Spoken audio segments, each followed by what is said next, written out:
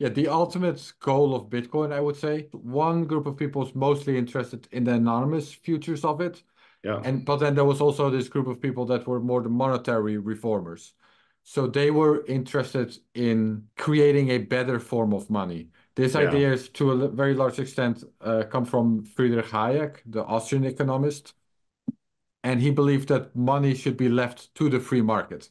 Welcome to the Cashflow Academy podcast. I'm Andy Tanner. This is where we do our very, very best to make investing simple, and I am just thrilled uh, with our guests. We're going to be talking about uh, uh, Bitcoin, and his name is Aaron Van Wirdum, and he has written a book called The Genesis Book, the story of the people and projects that inspired Bitcoin. It's a really hot topic, especially since uh, cryptos have surged recently. It's going to be a lot of fun.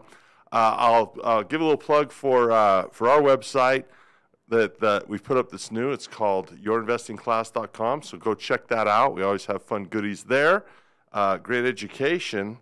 And uh, I'm going to set the context before I introduce Aaron formally. Bitcoin has been a fascinating thing for someone like me who's a, you know, primarily a stock investor. I have some real estate, I have some business. And, uh, you know, I think it's really important, and this is just an opinion. Whenever I say I think, this is not a fact, this is just an opinion. You, you guys can decide it's a fact or not. But one of the, you know, when, when I have this investing brain that's limited and imperfect, I still tend to superimpose it onto every asset class. And one of the things I will tell you, and the reason I'm so excited to have uh, Aaron with us and to recommend his book is I think success is often a function of the investor rather than the investment. And so when people begin to talk about oil, uh, there's dogmatism. You know, oil's the best thing. Or people talk about real estate. Real estate's the best thing. But when people ask me, you know, should I invest in gold? My question is, what do you know about gold? And when people say, should I invest in stocks? I go, well, what do you know about stocks? And when people say, should I invest in cryptocurrency? I always say, what do you know about cryptocurrency? Because when I look at a guy like Warren Buffett, I don't think the, the he, you know the stock market was the function of his success. I think Buffett. And if you find um, success in whatever asset class you decide, be it cryptocurrency, I think you'll often say, gee, you know, my success was a function of my personal development and skill in that asset class. So, with that context, you have a, an amazing opportunity to purchase a unique book. There's lots of books about currency and cryptocurrency, but this one deals very much with history and context and story and narrative.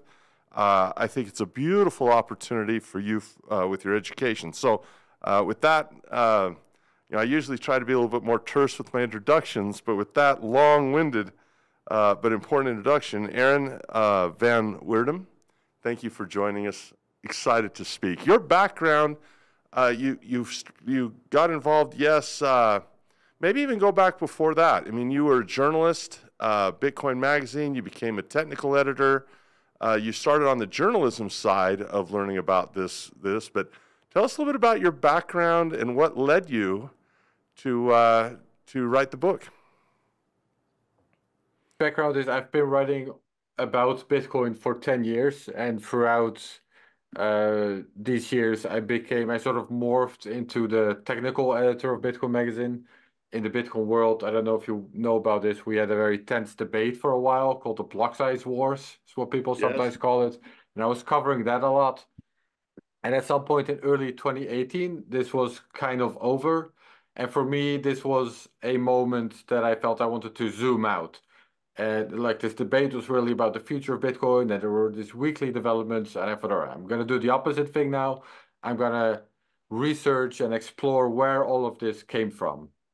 So you gave a very nice intro about understanding asset classes, and I think Bitcoin is a very it's a very relevant intro for for Bitcoin in particular.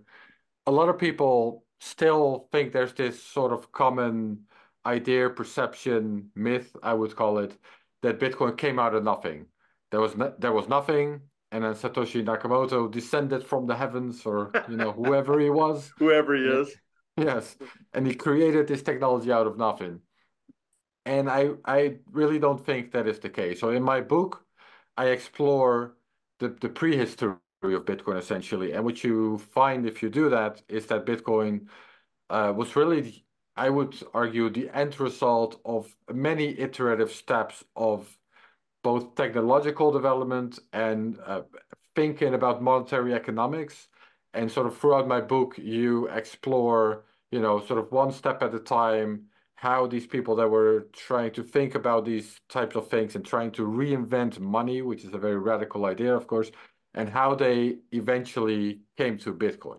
So that's that's the book in a nutshell. And I I do believe that's a good way of understanding Bitcoin itself. If you want to understand something, it's important to know where it came from. Where did where did these ideas emerge from, and how did it all come together? I, I couldn't agree more. I'm I'm uh, I just finished uh, a second edition of my book on 401ks, and understand your book is wonderfully titled, by the way the Genesis book, it's it couldn't be a better title because understanding the genesis of anything is understanding the the prehistory, the history, and it's usually not just uh, informative; it's usually wildly entertaining. I guess depending on who you are. I I find stuff like this fascinating. I'm a huge fan of Bitcoin for a different reason than most people would think. I think it's it's been an incredible gateway drug for so many people into financial education they never would have had otherwise.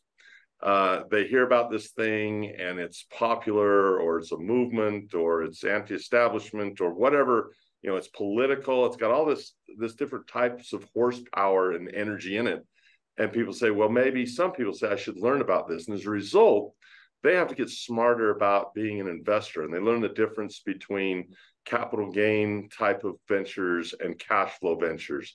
Uh, the idea of a store of wealth uh, versus a medium exchange. Uh, the idea of what a commodity is versus what a business would be. And so uh, I, I I love it. Let's hop in here. You know, my my producers are awesome. They they always give me great questions. You know that they recommend to ask, and I go rogue about 100% of the time. So the first question I'd like to throw at you is um, about dogmatism.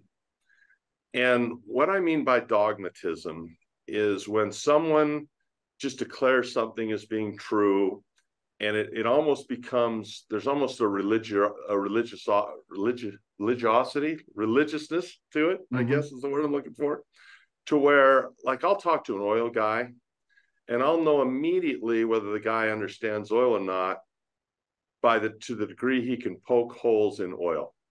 In other words, you know, gold has flaws in it, but gold guys can't say that. For example, uh, well, I can't eat gold, and I certainly can't fuel my car with gold.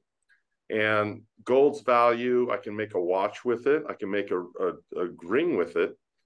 But if people have confidence in its currency or in its value in terms of money, like a it's fungible, uh, as is as you know it's dividable uh, as bitcoin is. One is an ounce of gold is an ounce of gold so when a person can tell me the ups and downs like i'm a stock guy and i will tell people look before you invest in stocks there's massive risks to learn about. So you know how do you feel about bitcoin that way? Is many times when i talk about there's there's there's a loss of pragmatism and a dogmatism like this is it this is flawless this is the perfect we finally achieved the the titanic that's unsinkable uh, this is the one. Could you talk to me and address what you see in terms of uh, of of do you see that in bitcoin like i do or or no? Um culturally speaking i, I do see there are different um there there are kind of different cultures within Bitcoin, I would say. And I do think one side of the sort of Bitcoin culture, they're a bit more marketing focused maybe, and, and they do uh, sort of have that narrative and they will, you know, promote Bitcoin in that way as it's this undefeatable, like perfect system and it can't be stopped and and it, there there's nothing uh, that can go wrong possibly. However, I do think that there's also especially a more technical minded part of the community. So if you speak to actual developers, the people that are actually writing the code to keep to keep Bitcoin up to date and to develop the protocol, in general, these guys, they're mostly guys, but well, there are some girls. These people, Yeah. they do really take the risks and the threats and the potential failure scenarios very seriously, and they have a very meticulous approach to developing it. So I, I don't think I would say the people that matter the most, they they don't necessarily think of Bitcoin as, oh, nothing can go wrong. It's it's just completely solved, and this is uh you know the the future for sure. So no, they yeah. take they take the potential problem seriously and try to actually fix it and solve it. And because Bitcoin is of course a free and source, a free and open sourced project, it can be improved and it can be fixed. And anyone who has the skills to study the code can look for you know, what are some potential weaknesses here? What are some potential ways that the system can, you know, be exploited and and that's actually how the system becomes stronger and stronger because that's how the problems get fixed over time. So it, it is a pretty robust system now over over time and it's you know, it's it's still going strong after 15 years now. Pretty pretty important. Uh, I like the way you categorize that and kind of segmented that. There's segments that are more marketing oriented and and uh, ad, they advocate it for the sake of advocating it. Um, let's talk about that prehistory. One of the things that's slightly ironic is uh, the idea that of transparency. We have this open ledger. Uh, it's you know spread. It's decentralized and spread throughout the world on you know all types of different you know computers. Um, and yet at the same time there's a mystery to it and i think that's one of the appeals why people should read this book because there's a slight it's not a heavy irony but it's like uh you know if you uh if you look at bitcoin and its its benefit of transparency and its benefit of an open ledger and everything's triple million quadruple zillion checked and double checked and rechecked and yet it's shrouded in mystery uh, in terms of who and when. And, you know, we always talk about these people or him when you talk about uh, Nakamoto, you know, there's there's mystery. Could you just address that as you researched the book and and uh, wrote about the prehistory? Yeah, well, so one of the main goals of sort of this movement, this digital cash movement, so I'm talking about pre-Bitcoin essentially, Yeah, was to create digital cash. And what they mostly meant by digital cash was to create something that can be used anonymously on the internet in the same way that paper cash can be used anonymous, anonymously in real life. So that's one part of one leg of that sort of movement. The other leg we just sort of briefly mentioned maybe are more the, you know, reinventing money, uh, kind of gold, digital gold kind of um, type of people. But yeah, there's yeah, there's definitely also this lack that wanted to create digital cash. Now, whether that was completely achieved with Bitcoin, you know, it's a work in progress, I would say, because like you mentioned, the way Bitcoin works is that everything is completely transparent. Now, of course, that doesn't necessarily mean that everyone uses their real name. In fact, Bitcoin itself uses only public keys. So if that yeah, public key cannot be attached to your real identity, then you're using it anonymously. Now, there are ways to de-anonymize that. This is sort of currently a, uh, you know, um, a web an arms race of, you know, yeah, developers trying to make it more anonymous and then analytics companies trying to figure it out anyway. So that's ongoing. As far as Satoshi himself being anonymous, almost certainly, it's almost certainly a pseudonym, right?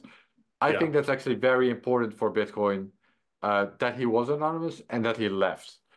And the reason for that is because Bitcoin is a truly decentralized system. No one is in charge of it. And that's, for example, how you know that no one can come in and say, all right, you know what, these 21 million limits, let's make it 22 million. Let's in right, introduce a little bit inflation. Like if someone is in charge of the system, they can make that decision. And because no one is in charge, and even the founder is anonymous and left, like he's missing in yeah. action, he, he hasn't been around in over 10 years now.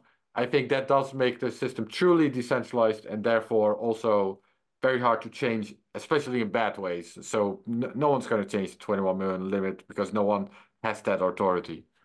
It, uh, so let's talk a little bit about the technology of blockchain, which I think is as important as an education journey as, as cryptocurrencies themselves. Uh, blockchain technology is not uh, was was pre-Bitcoin by for sure. That's part of that prehistory, and to to use this, I'm so surprised that blockchain is not used more prevalently in other areas of our lives. Uh, for example, the, the one that comes to mind, uh, my first to my head, uh, is is elections. You know, the idea that that you could, uh, and and that's a threat to, I guess, some people in power, depending on what country you're in. There's there's uh, uh, you know countries that are less stable, perhaps, or you know have a higher degree of corruption uh, than others. Uh, I would just think that people would absolutely demand that. But then again, it's it's very difficult to uh, you know monitor the those things, you know, to make sure those are all right. If you unless you're a computer expert, I suppose. But why do you think it is that blockchain, um, or maybe I'm wrong, and it has grown more? Uh, but but but could you talk about blockchain in terms of uh, you know, uh, I think DeFi is an awesome idea. I think it's a huge idea. I think it's a hard thing to do. And we'll talk about the political implications of that. But what about blockchain just for DeFi? What about blockchain for elections and things like that? What's the future? Yeah, well, blockchain over the years has become a bit of a buzzword. So it's not entirely clear what people exactly mean when they use that word. People tend to mean different things but I do explore in my book the history of blockchain essentially. I, as far as I know, Satoshi was the first, or Bitcoin is the first to actually call it blockchain, but the concept itself uh, dates back or stamps, yeah, existed like in a, as time stamping. So if you wanted to know for sure that a digital document wasn't forged after the fact, then there were time stamping solutions where basically digital documents were cryptographically linked to each other and therefore the order cannot be changed because that's how cryptography essentially works. Like you can't yeah. just remove one document because then everything like the math would change for every document that follows. So you can't remove anything. So this was a this was a relatively old idea that was introduced in the 90s and then satoshi kind of used that idea in bitcoin as a way to keep track of which transactions predated which other transactions, and you can't change the transaction record. Now, interestingly, you mentioned elections, and actually, in the last year, in Guatemala, they have been starting to use the Bitcoin blockchain itself to uh, timestamp the election results in the Bitcoin blockchain. So you cannot tamper with the election results. Now, I don't know the exact details of how they did it or how they sort of uh, translate the paper election bills to the to the digital.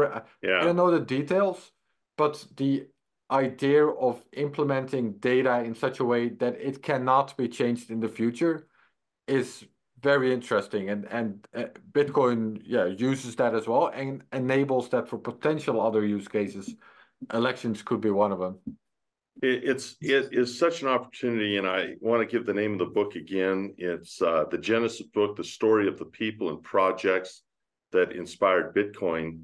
Uh, the website is thegenesisbook.com. You can go there and and uh, check that out. I mentioned that uh, this is a great. Uh, it's been, in my experience, a wonderful gateway drug for people to financial education. And maybe we'll share a little bit of that concept of why I think that's true. For example, when I meet what we might call a brand new person who's not an investor, a, a lay person, maybe you'd say, a worker bee, and they say, "I want to get rich." You know, that's a that's a very broad concept. You know, there's a lot of different things. When you look at a financial statement, you know, assets, liabilities, income, expenses, uh, statements of cash flow, those three components of financial statement, you can understand that that not all assets behave the same.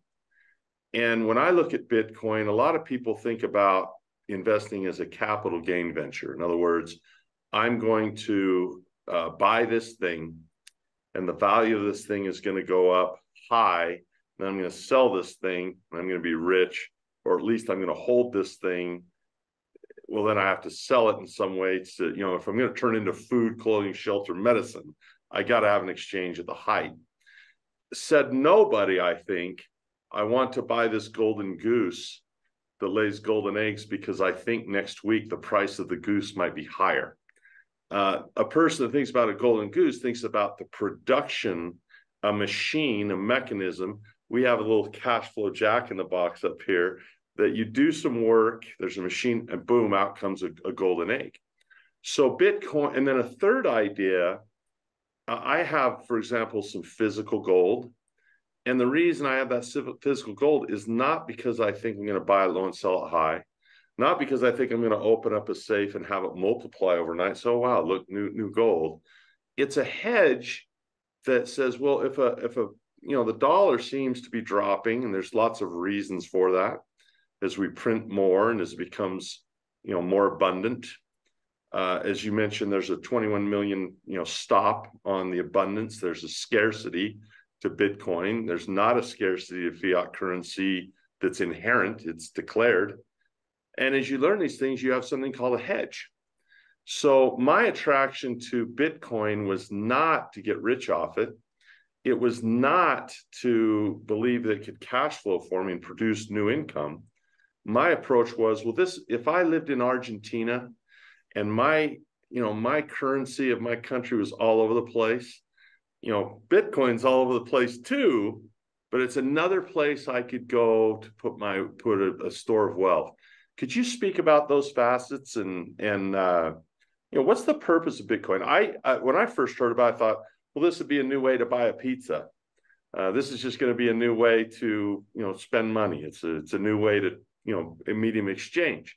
So the idea of a capital gain investment, a cash flow investment, a store of wealth, a medium exchange, a hedge, all of these things start to come together for a person. That's why I think this is a gate, great gateway drug for financial education. Could you comment on that? Yeah, I think kind of ultimately a, that's a big question. it's a big question, but I'll I'll see how far I get. Yeah, the ultimate goal of Bitcoin, I would say. Well, I already mentioned there were sort of two goals. One group of people is mostly interested in the anonymous futures of it. Yeah. And but then there was also this group of people that were more the monetary reformers. So they were interested in creating a better form of money. This yeah. idea is to a very large extent uh, come from Friedrich Hayek, the Austrian economist. And he believed that money should be left to the free market. So just let the free market decide want, what it wants to use as money. We don't need the government to impose that. It can just be private companies or banks or you know whoever wants to issue it, and then people will decide what to use. So I think this is sort of the big idea for Bitcoin there. Now it does share a lot of aspects with gold. You already mentioned some of them. Uh, scarcity is a big one, of course.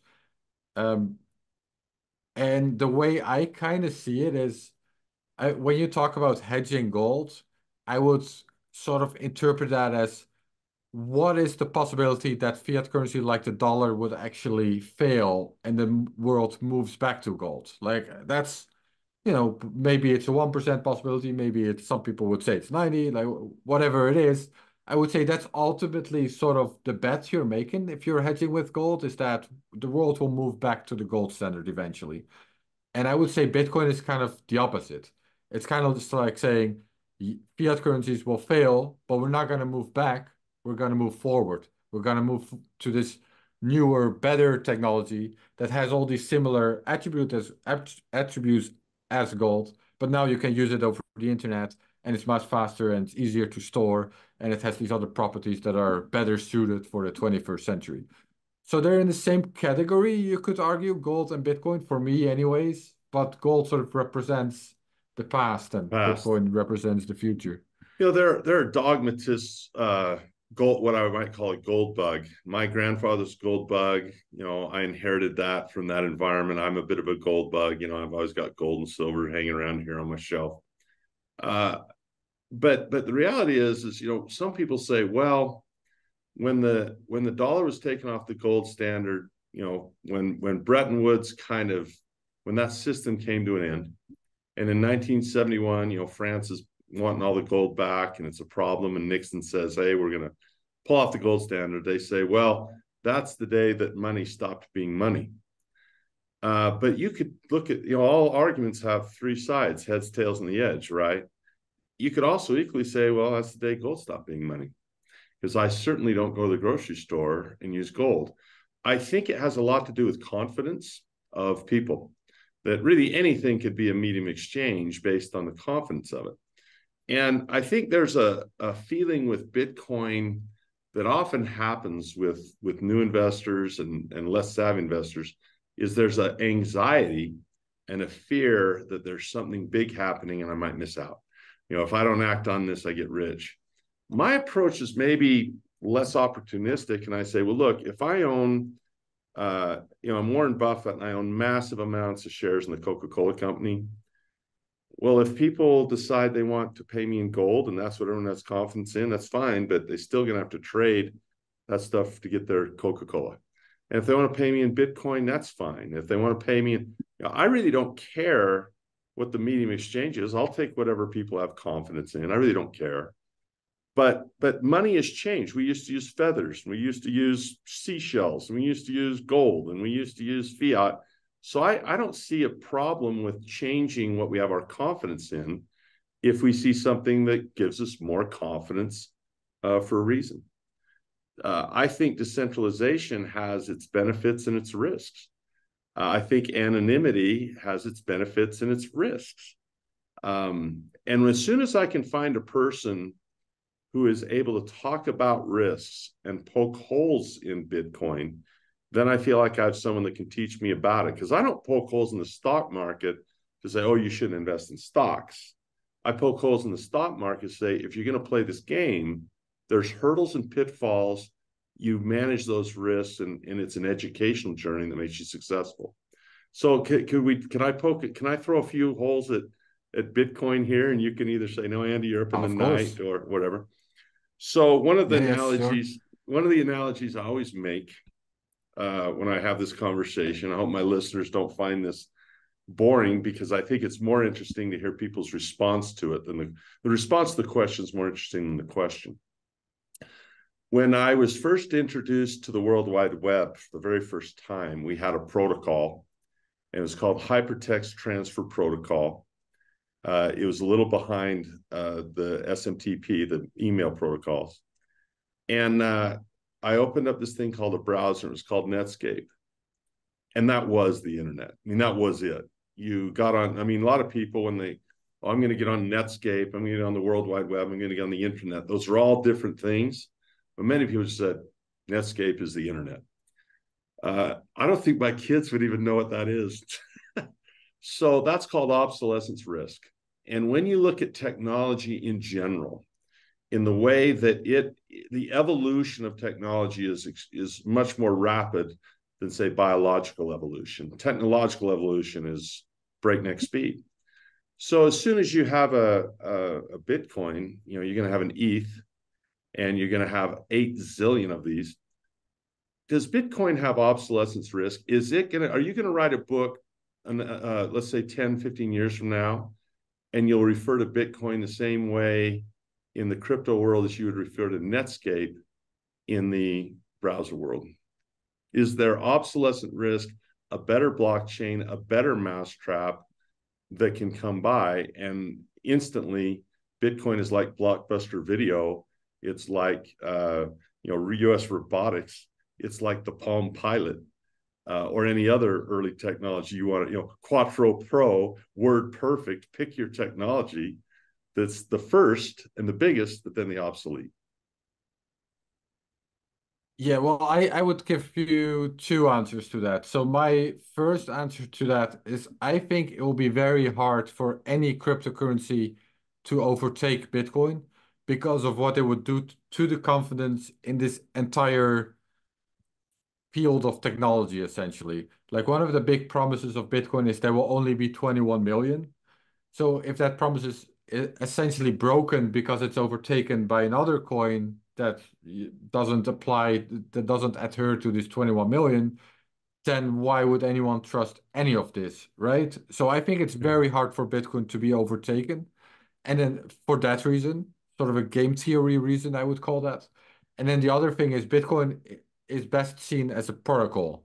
So once a protocol has a certain network effect, it becomes very difficult for another protocol to overtake that.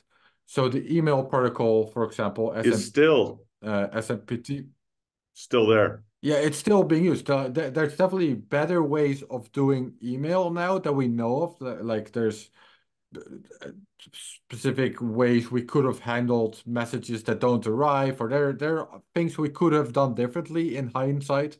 But because it's so widely adopted already, no one would switch to a new protocol because if you're switching to a new protocol, you can't email anyone and no one can email you. So there's this very strong network effect for everyone to just keep using the same protocol, and this will only grow and grow, and this network effect will grow, and it becomes harder and harder to overtake. So I think Bitcoin in the same way, it's this protocol for transferring value over the internet, and it's becoming harder and harder to overtake that the the real innovation, what you're talking about, will probably happen more on the edges and on second layers. So, for example, now we have the Lightning Network, which is a way to make transactions on Bitcoin faster because the transactions are sort of transferred to a layer on top of the main protocol. And now you can send anyone Bitcoin within the second. You don't have to wait for block confirmations. And in the same way, I think we'll see more and more of these second layer and these kinds of technologies, that's where the innovation will continue to build. And again, that only improves the network effect of Bitcoin itself because these layers exist on Bitcoin. Interesting stuff. Um, it seems to be when people find anything that is, uh, they, they always want to build a better mousetrap, right? And let's talk about the energy question. You know, one of the things that many people, I didn't invent this question, uh, it takes a lot of energy. You you have electricity. Gold doesn't require electricity. However, I will tell people that gold costs money to own because if you own a lot of it, you're not keeping in your house. You got to pay someone to guard it. So there's an expense to even holding gold. Uh, if you're going to put it in a vault somewhere, and you know Brinks or whoever is going to hold this for you, it's literally an expense to hold it. Warren Buffett uh, quipped uh, this way says if you're on Mars, you might laugh because you see these humans digging a hole in the ground, getting some gold, making it shiny, moving it to Kentucky, digging another hole called Fort Knox, putting it back into the ground, and paying people to guard it this time. Uh, if someone were to come, you know, in related to the question of obsolescence risk, if someone were to say, "Hey, you know what? We have a new technology that is entirely different than blockchain and it requires so much less energy. We can easily take the concept of scarcity and duplicate that. Okay this one has 25 million or you know 10 whatever and fract you know it's you can fractionalize it because bitcoin's certainly fractionalized. No one really buys a pizza with one bitcoin. Um, what are the implications there as far as the energy it takes and the expense of actually having it and uh, the dependency of electricity uh, and and having computers to run this. I mean, there's a huge dependency on that. Thoughts? Yeah, so I'll say two I'll say two things about that again. So the first thing is uh, so I mentioned how protocols have this network effect and they become hard to overtake. Now the exception to that rule, you could argue, which you allude to, is if a new protocol is that much better. It's if it's really new generation, like in your example, we figure out how to do blockchain that has the same security as Bitcoin, Yeah. but uses none of the Yeah, power. one one percent of the energy. huge- Yeah, Yeah, Sorry. right. So what what I think will happen in that case, I mean, this is just a personal opinion, of course, but I think bi because Bitcoin is free and open source software, it is code in the end. Bitcoin can be upgraded. So I suspect in that case, Bitcoin will be upgraded to implement this technology. So everyone who's holding Bitcoin, everyone has the incentive that they're not overtaken by some other protocol, of course. So everyone has the incentive to adopt this revolutionary new technology into Bitcoin. And then, you know, you still have that scarcity. It's still Bitcoin. It just has this new technology embedded in it. That's perfectly possible. certainly for About the energy question itself, I'll, I'll quickly address that. So one of the interesting things about that is because Bitcoin can be mined everywhere in the world, there it's location independent. The Yep. miners tend to go where electricity is the cheapest. And where Yeah. is electricity the cheapest is where it's not used anyways. So this kind this is often uh in in spots where there's like hydro dams and there's no industry anymore. So you know they got hydro dam, might as well mine Bitcoin. And there's these kinds of spots. So I don't think the narrative that Bitcoin is like wasting energy or doing a lot of No, environmental damage is very true. It, it, it it's actually I could riff on this for a while, but I'll leave it here. I think it's uh, actually relatively energy efficient, ironically enough. I mean, compared to how much energy banks are using and uh, anything else really. And Bitcoin at least has this property that it goes to where energy is the cheapest. Yeah, I think people say it wastes energy. Well, shoot, the TV is, it, I'd say it consumes energy. I mean, watching my TV, is that a waste of energy or a consumption of it, right? Uh, let's talk a little bit about um, central central banking. So here's an interesting pushback: is if I'm the Federal Reserve and I see, you know, my whole deal is control, right? I've got to control this money supply and policy. You know, you know, I want to have policy to try to manipulate this stuff, raising interest rates, expanding the money supply, contracting it, bearishness, or excuse me, uh, dovishness, hawkishness, what have you.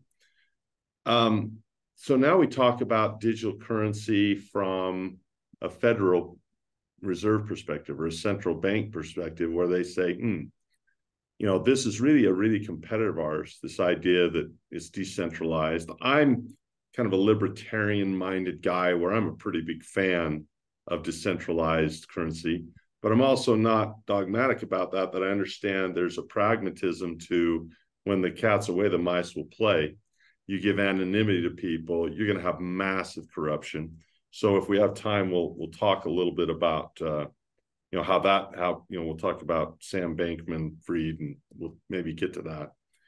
But the idea that that you could compete with with crypto with a digital currency that's from a state, you know, like a dollar, we we create a, a digital dollar.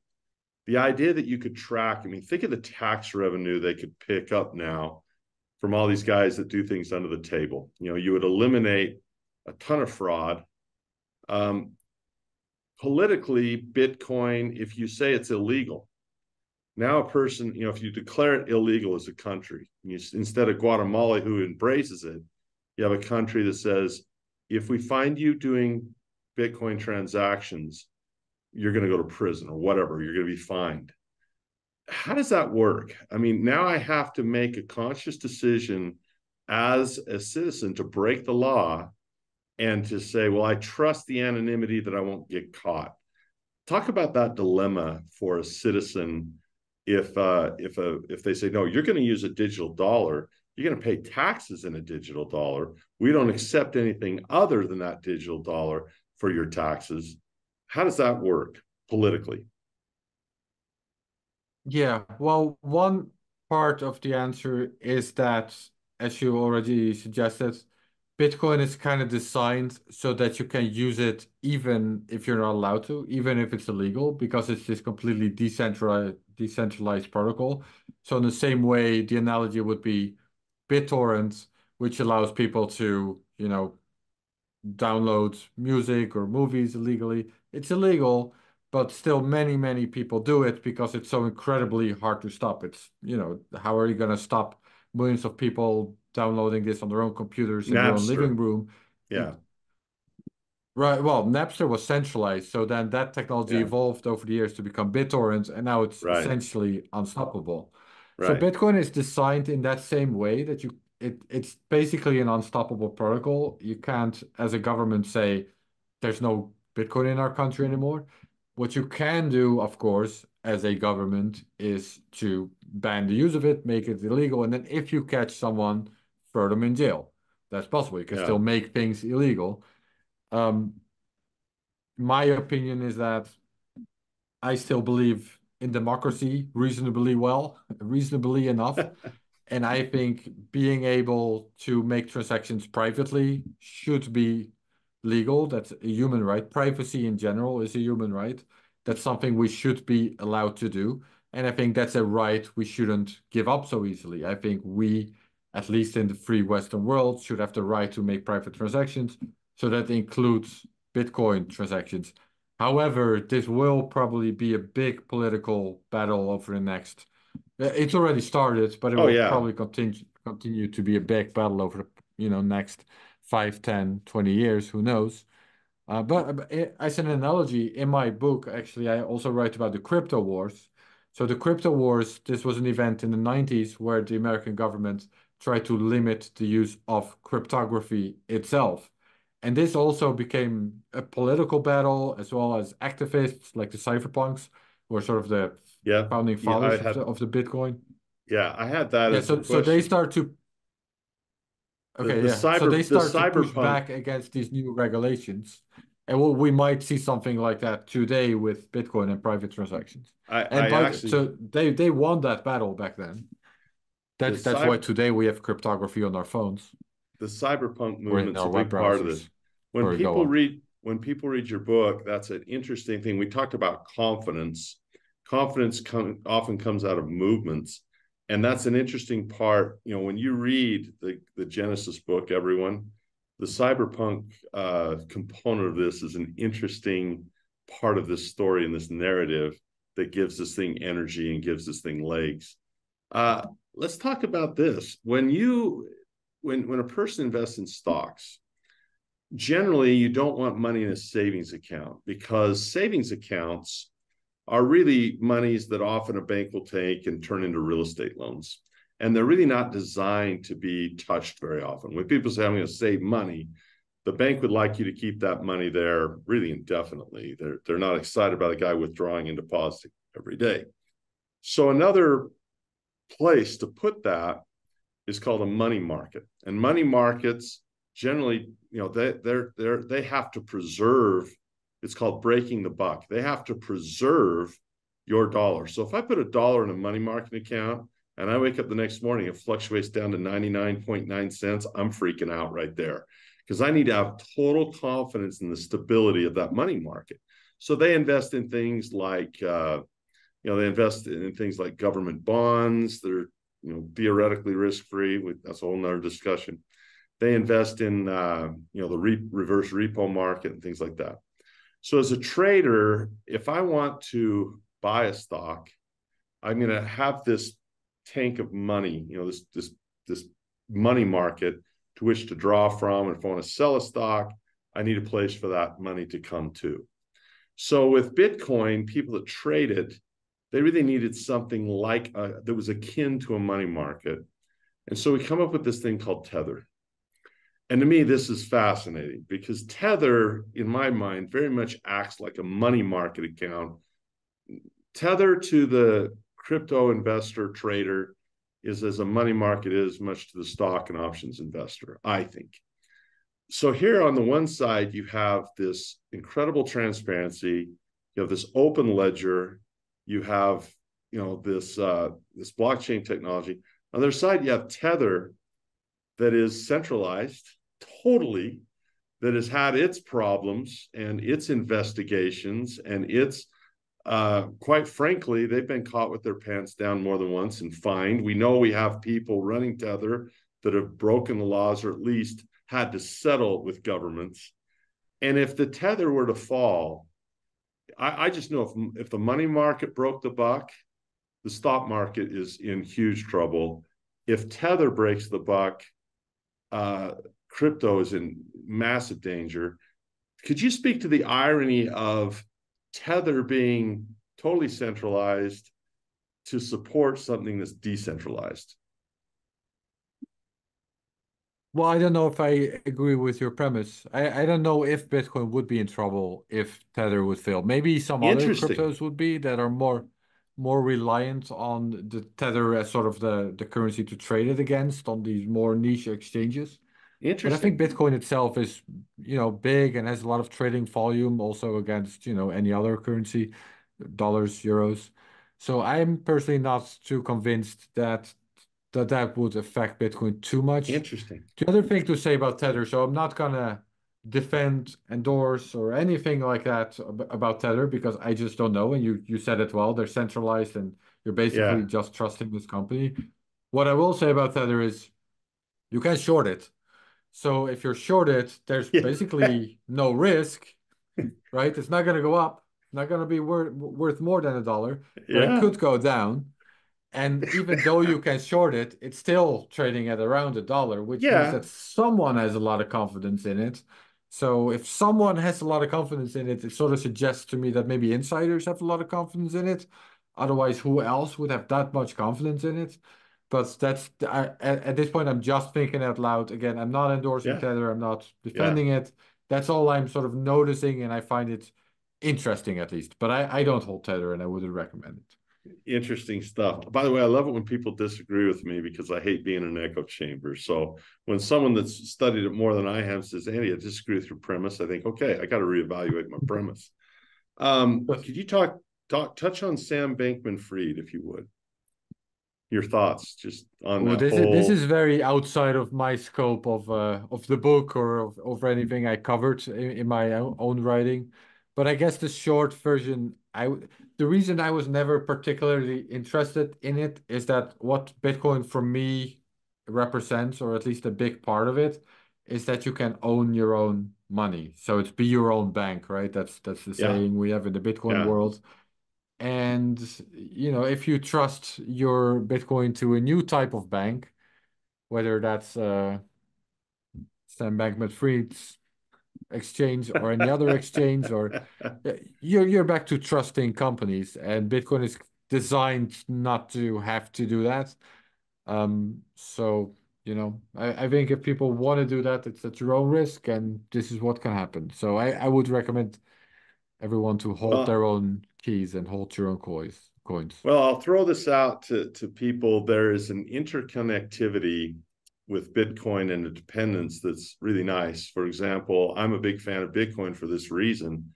Uh, I have one of the largest positions I have in stocks is Apple. So I'm the biggest fan Bitcoin ever had. Whether it goes up or down, I don't care. But you're going to look at your phone uh, to see. I own AT and T, and if you want to make some transactions through your phone, you're going to use my network uh, you know, so I'm the biggest fan of Bitcoin ever had because the bigger it gets, the more dependent you become on my iPhones that I sell, the more dependent you're becoming on my AT&T. And really, you know, I I've in, I haven't invested in Coinbase as much as I've traded it, but I've enjoyed Coinbase at times as an options trader to enjoy those premiums that come whether it goes up or down or not. And I, I love the idea of being an entrepreneur because at the end of the day, people want food, clothing, shelter, medicine, plastic, carpeting, uh, you know, paint, housing. And if they want to pay me, if I produce those things, they want to pay me in Bitcoin, I'm fine with that. I think one of the best ways to make money is to go produce value for people. And whatever people have confidence in, I'm fine in taking that. So I, I've shied away from the idea that someone's going to become a, a Bitcoin billionaire. When I bought uh, Bitcoin the first time, it was probably around 300 bucks a coin. And I was just experimenting with it. I just, I want to know what this is, so I'll buy one. And then I forgot about it. and then one day there's a news story that it hit 10,000. I told my wife, I go, I think I have some of this. And I, I'd, I'd opened up so many wallets trying to figure it out. I had to go back and it was quite a chore to find which wallet actually worked to, to get to it. I've traded options on it. Um, the options market in Bitcoin has been a great gateway drug because people that have hated options and just the idea of, of stocks and options, I've said, well, let me show you something here. You can actually get paid to buy your Bitcoin. If you sell a put and say, I'm willing to buy Bitcoin, say at 30,000, uh, and it drops down to 30, you can actually get paid to keep that promise. And people like, what? I can get paid to buy my Bitcoin. So I did a whole course, uh, the Cashflow Academy on options. But what people find is it's still thinly traded. The spreads are kind of wide. Uh, it's it's a tough way to do it compared to what you can do in stock market. So I'm a big fan. You know, I've traded it, I've owned it, and I I kind of told people this. I go, well, if there's only 21 million of them, there's more than 21 million millionaires out there, and if you buy one, someday you might have something that not, not all millionaires can even afford or that they can all have. So from that standpoint, I'm like, hey, you know, have some fun, you know, buy one, see what happens. So Uh, final thoughts Or, on or buy book. a fraction, of course. Yeah, you can buy a yeah, fraction, which people sometimes forget. it's fungible, right? You can cut But the be the best way to do it, as you mentioned, is to buy some and then just forget about it for a while Yeah, and see what Until you- happens. until you hear about it on the news Yeah. one day. Like anything else, it doesn't produce anything. I think it's great. I I I recommend everyone. I'm an education advocate more than a Bitcoin advocate or or even a detractor from or a critic of it. I know I ask hard questions about it. I I can do the same thing with stocks, real estate, oil because I'm fans of all this stuff. You want to buy assets uh, in your life, so go out and get the Genesis book the the story of the people and the project that inspired Bitcoin, and you'll have a wealth of info. Yeah, hold it up. You'll have a wealth of information uh, from a guy who has really been in the front lines of this and written about it, probably as much as anyone on the planet has studied it and written about it. And uh, you guys always know how I sell books. Those that listen to me, I say, look, if you had a chance to sit down with Aaron at dinner and and pick his brain for an hour, would you be willing to pick up the check? because for much less of an investment, you can get much more of an hour of his thoughts by picking up the Genesis book, the story of the people pro- and projects that inspired Bitcoin. His website is thegenesisbook.com. Any final thoughts on uh, on the book, the topic, why people should read it before uh, before we close? Um, well, just what I mentioned, I, I believe that the best way to understand many topics is to understand where it came from, understand the Yeah. history, understand where these ideas came from, what, how the people that were working on this stuff, what were they trying to achieve?